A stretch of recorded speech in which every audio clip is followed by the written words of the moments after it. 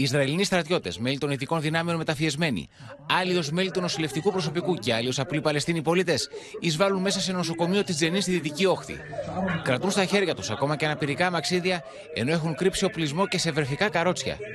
Επιχειρούν και εξουδετερούν τον επικεφαλής της Χαμάς στη Δυτική Όχθη, καθώς και δύο ακόμα μέλη της τρομοκρατικής οργάνωσης.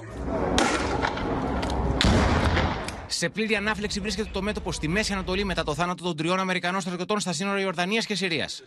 Ο Αμερικανός πρόεδρος Τζο Μπάιντεν δέχεται πίεση να κατηγορήσει απευθείας το Ιράν για την επίθεση, κάτι το οποίο όμως προς το παρόν το αποφεύγει. Η ένταση ανεβαίνει στη Μέση Ανατολή με φόντο τον πόλεμο της Λωρίδας της Γάζας. Η Ουάσιγκτον διαβεβαιώνει επανειλημμένα ότι δεν θέλει να δει τον πόλεμο αυτό να εξαπλώνεται. Ο Αμερικανός Υπουργός Εξωτερικών Άντωνι Μπλίκεν εξέφρασε χτες την ανησυχία του στην Ουάσιγκτον σε συνάντηση που είχε με το Γενικό Γραμματέα του ΝΑΤΟ Γεν Στόλτεμπεργκ.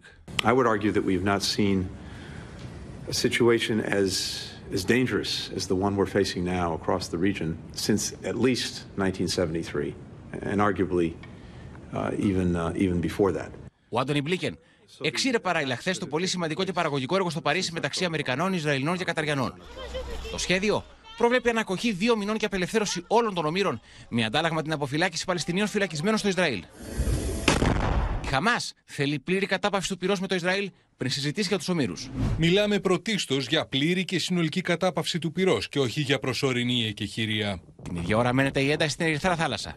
Οι αντάρτες Χούθη τη Ιεμένη κλιμακώνουν τις επιθέσεις με ντρόουν και πυράβλου εναντίον εμπορικών πλοίων. As I said last week, uh, so I can say today, those discussions are ongoing. We believe they have been constructive uh, and are moving in a good direction. Τα Ισραηλινά στρατεύματα έκαναν επιδρομή στο γραφείο του Σινουάρα στη Χάν Ιουνί.